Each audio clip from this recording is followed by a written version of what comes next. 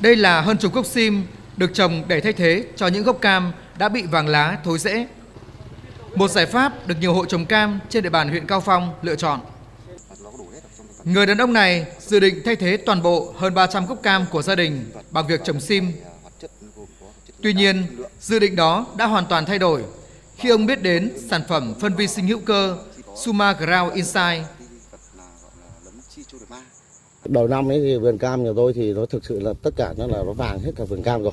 Đấy, như lửa ngoài kia thì nó hỏng hết. Thế cho nên là nhiều người là bảo là chặt đi nhưng mà tôi vẫn cái trồng bưởi về thay thế. Sau khi được cái giới thiệu cái phân Suma Ground này về thì từ đầu tháng 2 đến bây giờ thì tôi chăm sóc theo hướng dẫn của các anh ở bên khuyến nông tỉnh và huyện và kết hợp với công ty Sumago thì là đến giờ này thì vườn cam là sách phát triển tốt và tất cả những cây mà đầu năm mà mọi người bảo chặt đi ở bên ngoài cổng vào ấy thì bây giờ nó xanh trở lại bình thường. Cũng đã có ý định phá bỏ hơn 200 gốc cam lòng vàng để trồng ngô thay thế. Song do khó thuê người nên vườn cam này đã bị bỏ hoang. Hơn 4 tháng trước, được sự tư vấn của cán bộ kỹ thuật Trung tâm khuyến nông tỉnh Hòa Bình và Trung tâm dịch vụ nông nghiệp huyện Cao Phong, ông đã mạnh dạn áp dụng quy trình kỹ thuật mới trên 80 gốc cam của gia đình. Trước khi mà chưa sử dụng Sugar ấy thì cam của gia đình là nó vàng hết rồi. Nó vàng hết rồi. Thế mà từ khi công ty Sugar nhảy vào cuộc ấy thì đúng là cam người ta bảo như kiểu cải thừa sinh ấy. Đấy, nó nó trẻ hóa cái cam lại thì cam hiện nay mà nói không nói thì bà con biết rằng nó lá lên rất là xanh mầm to mập lá xanh và thân cây rất là đẹp từ việc áp dụng thử nghiệm đến nay hai gia đình trên đã nhân rộng việc sử dụng sản phẩm phân bón vi sinh hữu cơ Suma Ground Insight ra toàn bộ diện tích vườn của gia đình và cho kết quả khả quan. Trong 2 năm trở lại đây, một số diện tích trồng cây ăn quả có múi trên địa bàn huyện Cao Phong giảm do bị sâu bệnh, hết chu kỳ kinh doanh kỹ thuật canh tác của người trồng cam còn hạn chế. Hiện toàn huyện chỉ còn hơn 1.700 ha cây ăn quả có múi, trong đó diện tích trồng cam chiếm hơn 80%.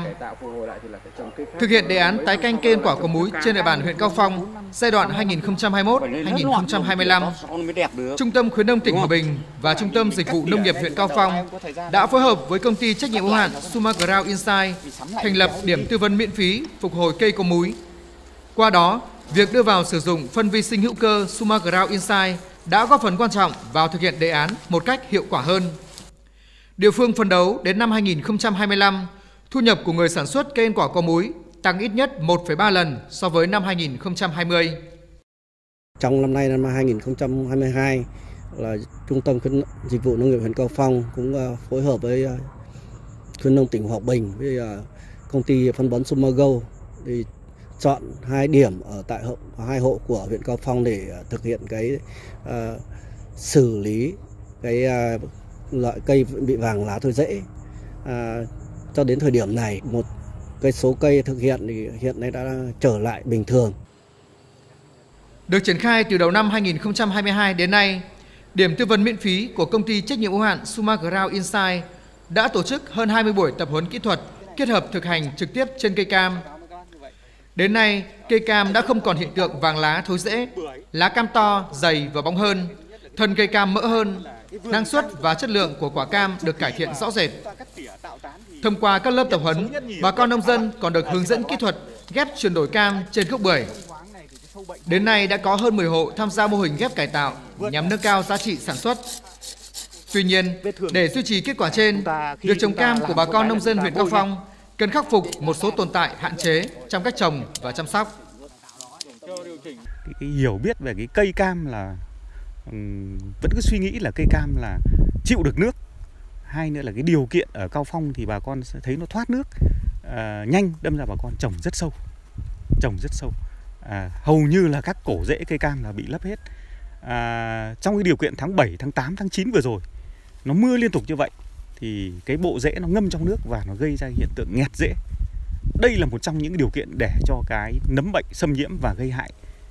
nhiều nhất. Sử dụng phân hữu cơ là là là ít và không đúng cách. Ở đây nhiều nhà vườn là sử dụng cái phân hữu cơ, phân trâu, phân bò, thậm chí là phân gà là à, còn đang tươi sống, chưa hoai mục.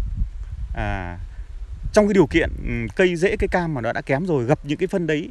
à, sinh ra cái rễ nó bị yếm khí là một hai nữa là nó nhiễm những cái độc khí độc metan rồi H2S do cái quá trình phân giải phân hữu cơ gây ra thì nó cũng gây ra thối rễ à, và một cái yếu tố cuối cùng nữa đó là bà con nông dân là chưa chủ động được nguồn nước để phục vụ cây cây cam cao phong hiện đang ở trong thời điểm khó khăn để mở rộng diện tích và nâng cao năng suất sản lượng